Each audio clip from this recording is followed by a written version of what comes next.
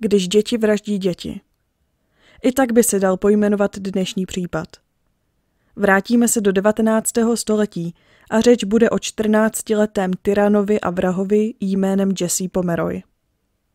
Na začátek bych také chtěla říct, že dnešní díl obsahuje explicitní a citlivý obsah týkající se dětí. Obsah tedy nemusí být vhodný pro děti a mladistvé a pro slabší povahy.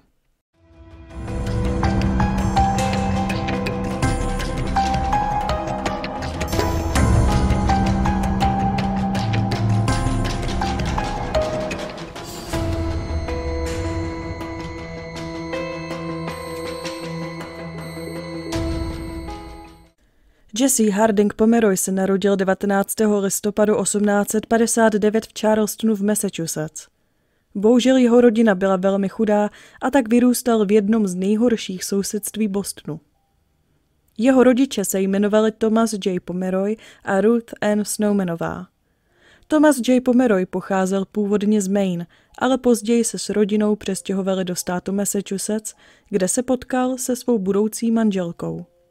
Ruth Ann Snowmanová z hodou náhod také pocházela z Maine a do Massachusetts se přestěhovala později.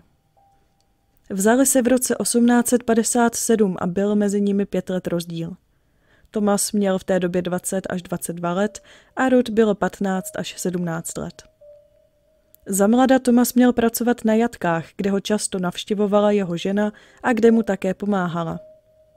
Společně měli dvě děti – již zmíněného Jesseho a o dva roky staršího Charlesa Jeffersona Pomeroje. Jesse do svých tří let neustále plakal a byl hodně vybíravé dítě. To se ale po třetím roku života docela změnilo. Během raných let jeho života se nic moc významného nestalo a se svým bratrem vycházel dobře a rádi spolu trávili čas. Tedy aspoň podle autobiografie samotného Jesseho Pomeroje. V roce 1862 ale jeho otec, Thomas J. Pomeroy, nastoupil na vojnu, aby bojoval v občanské válce. Po válce se jako jeden z mála naštěstí vrátil domů. Po návratu z války začal pracovat v místních docích pro námořnictvo a podle některých zdrojů pracoval i jako hasič. Jak se ale postupem času ukázalo, za svou rodinou se vrátil úplně jiný člověk – z Tomase se stal nesnesitelný a agresivní alkoholik, který si často své nálady vybíjel nejen na své ženě, ale i na svých dvou dětech. Oba chlapce vždy mlátil brutálním způsobem a častokrát do krve. Jeden den toho Rud Pomerojová měla už dost a vyhnala svého manžela z domu s nožem v ruce. Netrvalo ale dlouho a Tomas Pomeroj se vrátil domů. Jeden den, když Jesseho jeho otec opět brutálně zmlátil, se malý chlapec pomstil. Zabil matčiny ptáčky, a to tak, že jim zakroutil krkem. A po tomto incidentu nesměli mít doma žádná zvířata. Když bylo Jessemu pět let, matka ho načapala s nožem v ruce, jak mučí kočku jejich sousedů. Co se ale stalo, pak není nikde zmíněno. Když o rok později začal chodit do školy, Ukázalo se, že ho to moc nebaví a tak často vynechával hodiny. Chození za školu ale způsobilo to, že ho jeho otec často svlékl do naha a poté ho zmlátil bičíkem na koně. Učitelka Jessie ho popsala jako podivné dítě, kterému je často těžké porozumět a jakákoliv kritika ho rozhněvala. Což také někdy vedlo k agresi. Některé zdroje také zmiňují, že byl Jesse šikanován ostatními dětmi, a to hlavně kvůli jeho vzhledu. Jesse Pomeroy nebyl moc vysoký, hlavu měl vůči tělu o hodně větší a pravé oko měl již od narození zbarvené do běla. Zdroje uvádí, že se jednalo buď o šedý zákal či výsledek infekce, nebo následek očkování proti neštovicím. Ve své autobiografii se Jesse zmiňuje o tom, že jeden den se svým bratrem šli rybařit – jeho bratr se ujal prutu, ale při rybaření špatně nahodil prut a háček se Jesse mu zaril do oka a to až na kost. Jesse se také zmínil o tom, že i přes bolest, jakou si procházel, nedal nic najevo. Co se ale Jesse mu doopravdy stalo a proč jeho oko bylo v takovém stavu, není na 100% jasné. Lidé se na Jesseho kvůli jeho vzhledu nechtěli dívat a měl docela problém si najít kamarády – Se svými spolužáky nekomunikoval a byl úplně jiný než jeho bratr. Okolo jedenáctého roku Jesse začal číst a zajímat se o knihy, což by se mohlo zdát jako pozitivní věc. Jesse měl ale zájem o násilné knihy o původních obyvatelích Ameriky. Ve scénách, kdy docházelo k mučení, se doslova vyžíval. Po neustálém šikanování toho měl Jesse dost a sám začal šikanovat mnohem mladší a menší děti, než byl on sám. Pravděpodobně proto, že on sám nebyl zrovna silný. Ve svých 12 letech totiž prodělal velmi silnou pneumonii, po které byl ještě slabší. Většinu času trávil sám, někde stranou, a veškerou svou pozornost věnoval brutálním knihám, nebo trávil poměrně dost času se svou matkou, která o jeho chování a zájmech věděla, ale snažila se ho omlouvat tím, že byl silně šikanován. O měsíc později, poté co prodělal pneumonii, své brutální fantazie z knih začal realizovat. Byl božího dvánoční 25. prosince 1871. Počasí ten den bylo chladné a větrné. Dva dělníci se ten večer vraceli zpět domů po cestě, která se nacházela nedaleko chaty na Powderhorn Hill. Po cestě dělníci zaslechli podivný zvuk, který sílil pokaždé, když se zvednul vítr. A jak pokračovali dál v cestě? Kvílení sílilo a bylo čím dál hlasitější. Oba muži byli zvědaví a vrtalo jim hlavou, co by tento zvuk asi mohl být, a tak se rozhodli zvuk následovat, dokud nedošli k chatě, odkud byl zvuk slyšet nejvíc. A když otevřeli dveře, naskytl se jim pohled na malého chlapce, maximálně čtyřletého, jak visí za zápěstí ze stropu pomocí provazu. Tělo chlapce bylo namodralé, neměl na sobě kabát ani košily, rty měl fialové, stejně jako ruce, a kdyby chlapec nevydával zvuky, vypadal by jako mrtvý. Na zádech měl otíkající šrámy, jako kdyby ho někdo zmlátil byčem. Nebylo pochyb, že se malý chlapec stal obětí brutálního útoku. Jeden z mužů chlapce odřezal ze stropu a druhý muž jeho bezvládné tělo zabaril do kabátu, aby mu poskytl aspoň nějaký příjem tepla. Když se chlapec zahřál a konečně otevřel oči, byl v takovém šoku, že nedokázal ani mluvit. Muži naštěstí dokázali chlapce vrátit zpět jeho rodině a poté tuto událost nahlásili policii. Malý chlapec se jmenoval William Payne a byl vyděšený a v bolestech a když se okolí snažilo přijít na to, kdo mu tohle udělal, William dokázal říct jen to, že to byl starší chlapec.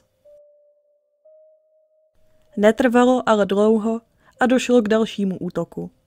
V únoru 1872 narazil Jesse Pomeroy na sedmiletého Tracyho Hydna.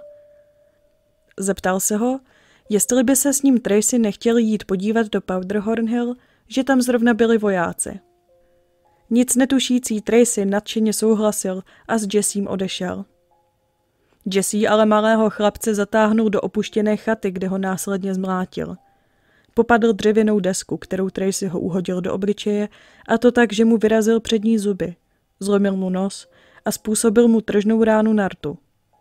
Poté chlapce svléknul do naha, do úst mu dal kapesník a poté ho brutálně zmlátil. Stejným způsobem, jako zmlátil Williama Payna a vyhrožoval mu, že mu uřízne genitálie. Tracy Hayden toto týrání přežil – ale prodělal obrovské trauma a svého útočníka dokázal popsat jen jako staršího chlapce, který měl hnědé vlasy. Policie si tedy byla moc dobře vědoma toho, že v této oblasti běhá nějaký mladiství deviant a přemýšleli, jak tohoto chlapce dopadnout. Mezitím, co policie přemýšlela o těchto útocích, Jesse si našel další oběť. V květnu 1872 oslovil osmiletého Roberta Majera, že ho vezme podívat do cirkusu, který zrovna přijal do města.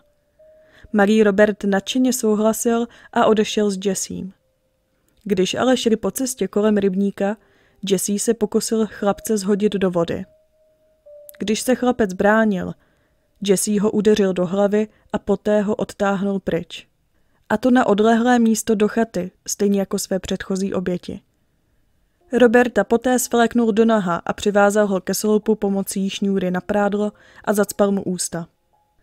Pak ho Jesse Pomeroy začal být klackem, zatímco se smál a skákal okolo, jako kdyby měl radost, že Robertovi způsobuje bolest. Když se Robertovo dýchání začalo zpomalovat, Jesse se začal přes oblečení uspokojovat. Poté Jesse rozvázal šňůru na prádlo, řekl Robertovi, ať se obleče a nechal chlapce odejít. V oblasti Chelsea to byl již třetí útok na tak malé děti. Rodiče byli zděšení a policie si nevěděla rady a tak se zaměřili na výslechy všech starších chlapců s hnědými vlasy v této oblasti. Chlapců ale bylo stovky a pro policii bylo těžké se s tímto vyšetřováním posunout vzhledem k tomu, že neměli téměř žádné důkazy a ani vodítko. Během vyšetřování také vyšel špatný popis tohoto pachatele a měl být popsán jako muž s rezavými vlasy a vousy. Přišlo léto 1872 a Ruth Pomerojová měla svého násilnického a věčně opilého muže dost. Už se nesnesla dívat na to, jak bije její dva syny, obzvlášť Jesseho. Otec totiž jeden den Jesseho našel, jak se poflakuje po ulicích místo školy, takže Jesse se nevyhnul trestu. Otec ho zatáhnul domů, kde ho svlékl do naha a brutálně ho zmlátil koženým páskem. Možná tohle byla pro Ruth Pomerojovou poslední kapka a proto svého manžela z domu na dobro vyhodila. Naštěstí byla schopná se o své děti postarat sama. Měla totiž svůj vlastní salon, ve kterém pracovala jako švadlena a biznes jí jenom vzkvétal. Dva dny poté, co otec odešel od rodiny, si Jesse našel další oběť. Jesse potkal sedmiletého Johnnyho Balče před hračkářstvím. Johnny se zasněně díval do výlohy obchodu, ve kterém se mu mimořádně zalíbila dřevěná miniatura hradu. Jesse k chlapci přistoupil, zeptal se ho na jméno a využil situace. Viděl, že se Johnny mu líbí hračka ve výloze a tak rychle přišel s otázkou, jestli by si Johnny nechtěl rychle vydělat nějaké peníze, aby si hrad mohl koupit. Johnny na tuhle nabídku samozřejmě přistoupil a s Jessím odešel pryč. Jesse ho zavedl do uličky, která vedla do jednoho z opuštěných domů. Poté Johnny ho popadl a zatáhl ho do domu, kde mu začal vyhrožovat, že nesmí vydat ani hlásku, jinak ho zabije. Stejně jako u předchozích obětí, Jesse chlapce svlékl do naha, poté mu svázal ruce a pověsil ho za zápěstí k jednomu z trámů. Jesse popadl pásek a začal chlapce být, stejně jak to dělal jeho otec a i při tomto činu se v Jessím vzbudilo sexuální vzrušení. Když měl Jesse pocit, že už chlapci ublížil dost, rozvázal mu ruce a řekl mu, že jestli dům opustí, najde si ho a podřízne mu krk. Malý Johnny byl vystrašený a v neskutečných bolestech. Hlavou mu zněla Jesseho slova a tak si lehl na špinavou a studenou zem, plačící, dokud ho po dvou hodinách nenašel kolem jdoucí, který Johnny ho obléknul a odnesl ho na policejní stanici, aby se vše nahlásilo. Nebylo pochyb, že se jednalo o toho stejného pachatele. O těchto útocích začaly psát i místní deníky, jako například The Boston Daily Globe a také Boston Evening Transfer, ve kterém se psalo o odměně 500 amerických dolarů, v té době velké peníze, a to za jakékoliv informace, které by pomohly s dopadením tohoto útočníka. Začaly se vytvářet i skupiny lidí, které se snažili tohoto chlapce dopadnout. Bohužel neúspěšně. Krátce poté, co se zveřejnily reportáže o tomto mladém pachateli, se Ruth Pomerojová rozhodla, že je čas se přestěhovat z Chelsea do jižního Bostonu. Mohla by to být zhoda náhod? Nebo snad Ruth Pomerojová věděla o činech svého syna a rozhodla se ho bránit? Útoky na malé děti ale nepřestaly. Akorát se přesunuli někam jinam. Sedmiletý George Pratt se potuloval po pobřeží v jižním Bostonu, hledajíc nějaké poklady, které by si mohl odnést domů. Na pobřeží ale nebyl sám. Potkal staršího chlapce a nebyl to nikdo jiný než Jesse Pomeroy. Jesse k chlapci přistoupil a požádal ho, jestli by mu nemohl s něčím pomoct, že mu za to dá 25 centů. Georgeovi se to zdálo být jako výhodná nabídka a tak Jesse ho následoval. Opakoval se stejný scénář jako u předchozích obětí. V případě George ale Jesseho chování vygradovalo, a to tak, že sedmiletému chlapci ukousil kus tváře a taky hýždě a zarýval mu nechty do masa a do těla mu opakovaně zabodával jehly na šití.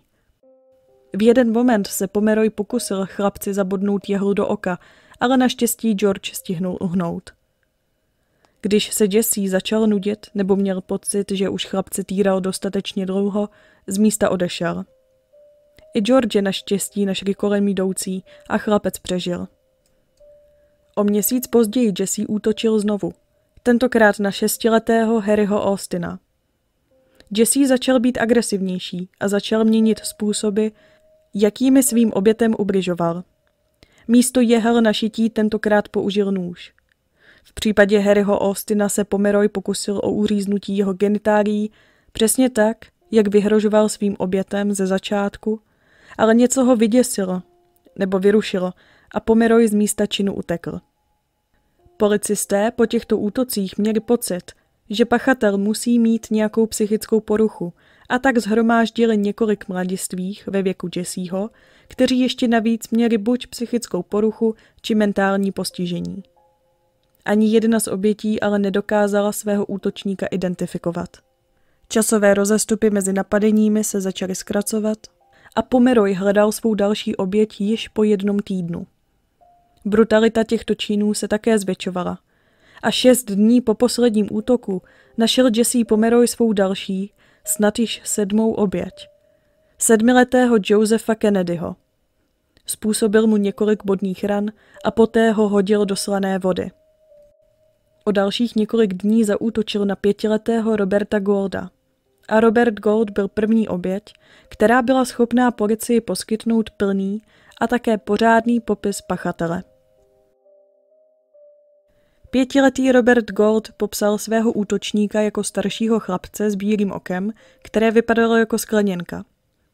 Policie tedy měla konečně nějaké vodítko a měli se od čeho odrazit. 21. září 1872 vzali policisté jednu z obětí, Josefa Kennedyho, do snad každé základní školy v jižním Bostonu a snažili si najít chlapce, který Josefa takhle zmrzačil.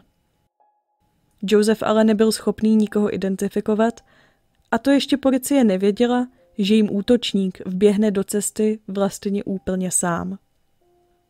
Z neznámého důvodu si Jesse Pomeroy ten den potuloval po městě a vešel na policejní stanici, kde zrovna byl Joseph Kennedy. Jesse Pomeroy údajně při pohledu na Josefa na policejní stanici necítil žádnou vinu, stejně tak, jak necítil vinu po zbytek svého života. Proč ale Pomeroy šel na policejní stanici, není nikomu jasné. Je možné, že doufal, že ho konečně chytí? A když Pomeroy viděl svou oběť, jak sedí na chodbě a čeká, až ho policie pustí domů, otočil se a rychle z policejní stanice odešel. Venku byl ale chycen a Joseph Kennedy potvrdil, že se jedná o jeho útočníka. Jesse Pomeroy byl poslán do vazby, kde podstoupil výslech, ale trval na své nevině. V této době policie mohla ještě používat donucovací prostředky, jako například nedostatek spánku u podezřelého nebo držení podezřelých několik hodin až dní pod tlakem. Pomeroy se k činům přiznat nechtěl a po prvním výslechu ve vazbě usnul. Policisté čekali do půlnoci, kdy ho vzbudili a podrobili ho dalšímu výslechu, ale opět bez výsledku. I tak trval na své nevině. Když mu ale policisté hrozili, že ho čeká trest odnětí svobody na sto let, Pomeroy se ke svým činům konečně přiznal. Policie byla naštěstí také schopna zhromáždit všechny oběti, které následně potvrdili, že se opravdu jednalo o Jesseho Pomeroje a že on má na svědomí všechny brutální útoky a týrání těchto malých chlapců. Ten stejný den Jesse Pomeroy stál před soudem, kam zavítala i jeho matka. Ruth Pomerojová svého syna bránila a řekla o něm, že to byl, cituji, dobrý, pracovitý a poslušný chlapec. Konec citace. Jesse byl také pak dotázán, jestli ke svým činům chce něco říct a proč to vlastně udělal. Jesse jen řekl, cituji, že si nemohl pomoct. Jesse Pomeroy byl tedy poslán do nápravného zařízení ve Westboro, kde měl být do svých 18 let. Této nápravné škole se také říkalo Dům teroru, kde se problémoví chlapci učili pořádku a měli snad až vojenský režim. Největší problém těchto zařízení je hlavně to, že byly všechny děti pohromadě, a to bez ohledu na to, co udělali. Překvapivě bylo ale Pomerojovo chování ukázkové, a to hlavně proto, že se chtěl z nápravného zařízení dostat ještě před svými osmnáctými narozeninami. Netrvalo ale dlouho a Pomeroj ukázal své násilné chování. Jedna z učitelek zahlédla na zahradě hada a bála se s hadem jakkoliv naložit. Jesse se tedy nabídl, že pomůže a tak vzal klacek a hada poté klackem umlátil. Jak se ale zdá, na jeho propuštění to nemělo efekt. Jesseho matka nesnesla myšlenku, že by její syn byl schopný něčeho takového a věřila, že je nevinný. Neustále psala dopisy institucím, že Jesse je nevinný a že by měl být propuštěn. Tato reformativní instituce se tedy podívala do rodiny Pomerojových a když viděli, že její druhý syn Charlie je bezproblémový a že Ruth je těžce pracující žena, rozhodli se, a to překvapivě i na doporučení bostonské policie, že Jesse trpěl už dost a po dvou letech od začátku trestu byl z tohoto zařízení propuštěn do péče své matky. Nikdo ze sousedů o propuštění Jesseho ale nevěděl. Po asi šesti týdnech po propuštění z nápravného zařízení 18. března 1874 Jesse otevíral matčin obchod a také novinový stánek svého bratra, který byl umístěný hned před matčiným obchodem. V obchodě s ním pracoval brigádník Rudolf Kor, který se s Jessím to ráno začal bavit.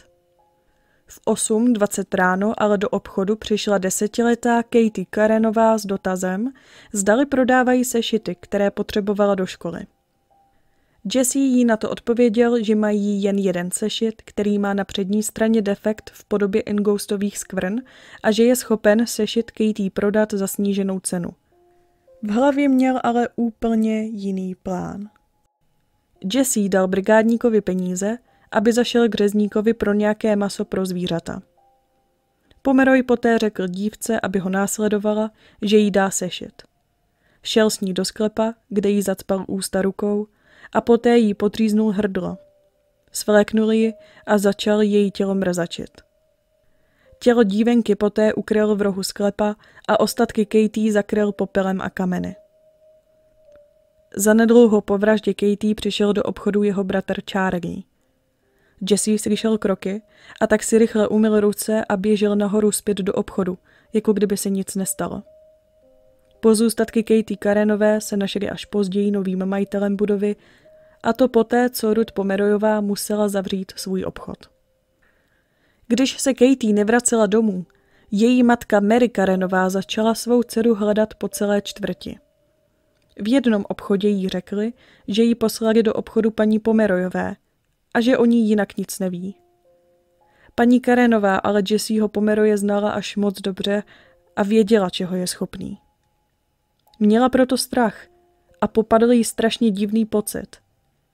Zavítala tedy na policejní stanici, kde se policistům svěřila, ale policisté jí řekli, že se nemá čeho bát a vlastně se jí vysmáli, že Jesse se napravil a že stejně jeho oběti byli pouze chlapci.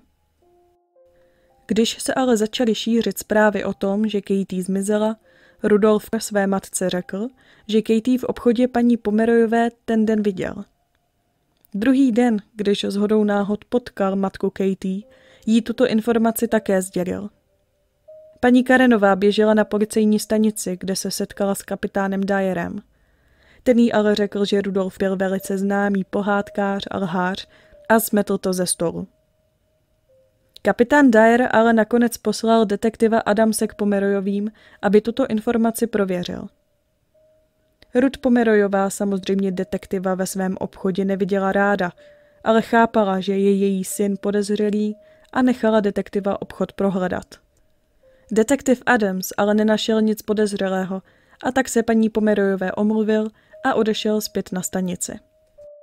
Během několika následujících týdnů se po Katie stále pátralo. Po pár týdnech ale Jesse Pomeroy své chování opět nedokázal udržet a nalákal pětiletého Harryho Fielda do jednoho vchodu na Vernon Street. Naštěstí se v tomto místě objevil Jesseho starý známý, se kterým se začal hádat. A Harry Field utekl zpět domů, kde matce skočil do náručí a vyděšeně plakal. Jesse Pomeroy se ale nezastavil. 22. dubna 1874 Marie Horace Millen, který žil jen pár domů od Pomerojových, dostal pár pencí od své matky, aby si koupil sladkosti. Horace sladkosti miloval a tak se vydal do místní cukrárny. Jesse Pomeroy ale čtyřletého chlapce zahlédnul a využil situace. Přistoupil k němu a začal se ho ptát, kam Horace jde. Jesse ho ruku v ruce doprovodil do cukrárny, kde si čtyřletý chlapec koupil kousek dortu, který následně snědl společně s Pomerojem. Pak se vydali společně do přístavu, kde si spolu měli hrát. Jak šli ale městem, několik lidí si jich všimlo. Když měl Jesse pocit, že jsou dostatečně daleko a že je nikdo nemůže vidět, z kapsy vytáhnul kapesní nůž a malému chlapci podříznul hrdlo, stejně jako Katie, a poté začal chlapce opakovaně bodat. Pomeroj na sobě měl škrábance a další stopy zápasu, takže Horis se snažil bojovat. Když už byl Horis po smrti, Pomeroj pokračoval dál s mrzačením jeho těla. O několik hodin později dva chlapci našli tělo Horise. Byli zděšení a začali křičet o pomoc. Křik naštěstí zaznamenali dva muži, kteří s hodou náhod Jesseho a Horise spolu viděli. Jeden z mužů zůstal u těla a druhý běžel na policejní stanici. Chvíli předtím otec Horise nahlásil svého syna za pohřešovaného a netrvalo dlouho a k rodičům se dostaly hrozné zprávy o jejich synovi. Všichni věděli, kdo byl vrahem. A tak policie okamžitě zavítala k Pomerojovým, kde našli Jesseho a okamžitě ho sebrali do vazby. Jeho matka zoufale křičela, že je její syn nevinný. Jesse samozřejmě napřed všechno popíral, ale nemohl policii poskytnout pro většinu dne žádné alibi. Navíc měl na obličeji šrám a našel se u něj kapesní nůž, který byl zabaven jako důkaz a následně byl poslán na analýzu, aby se ukázalo, jestli nůž odpovídá ránám v těle Horise. Pomeroj ve vazbě usnul jako kdyby se nic nestalo. Hned druhý den byl zatčen za vraždu, ale i tak vše popíral. A to až do momentu, kdy mu policisté řekli, že ho vezmou do pohřebního ústavu a ukážou mu zmrzačené tělo jeho poslední oběti. To donutilo Pomeroje se konečně přiznat a prosil policisty, aby to hlavně neříkali jeho matce a že se omlouvá za to, co udělal. Bylo více než jasné, že Jesse bude u soudu označen jako vinný. Vzhledem k tomu, že mu ale bylo v době vraždy Horise 14 let, nemohl být odsouzen k trestu smrti oběšením a tak se rozhodovalo, co vlastně s ním. Trest smrti oběšením byl za vraždu v té době a ve státě Massachusetts ten nejpřísnější trest. U soudu se také snažili o sproštění viny z důvodu nepříčetnosti, ale i tak byl zhledán vinným za vraždu prvního stupně.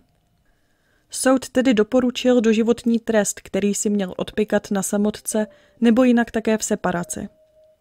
Jeho matka ho navštěvovala jednou za měsíc, jak měla dovoleno, a to až do své smrti. Jesse mohl jinak komunikovat pouze se zaměstnanci vězení. Po 41 letech byl propuštěn mezi ostatní vězně. Z vězení se také snažil několikrát utéct, ale naštěstí neúspěšně. Během pobytu ve vězení se naučil několik jazyků a začal psát 70-stránkovou autobiografii, kterou si můžete poslechnout buď jako audioknihu, či přečíst v PDF formátu. Odkazy najdete na Instagramu, anebo také na webových stránkách podcastu. Mimo jiné psal i básně a snažil se nastudovat si právo, aby se mohl dostat ven z vězení. V roce 1929 se mu zhoršil zdravotní stav a byl převezen z vězení do nemocnice Bridgewater, která byla právě pro lidi, jako byl Jesse. Nakonec zemřel v září 1932. Veškeré informace o životě Jesseho Pomeroje pochází hlavně z jeho autobiografie, takže nevíme, co je skutečně pravda. Co si o tomto případu myslíte? Mohlo by za jeho chování nějaké psychické onemocnění? Nebo myslíte, že na to měla vliv výchova a také jeho otec? Tohle je ale pro dnešní případ všechno.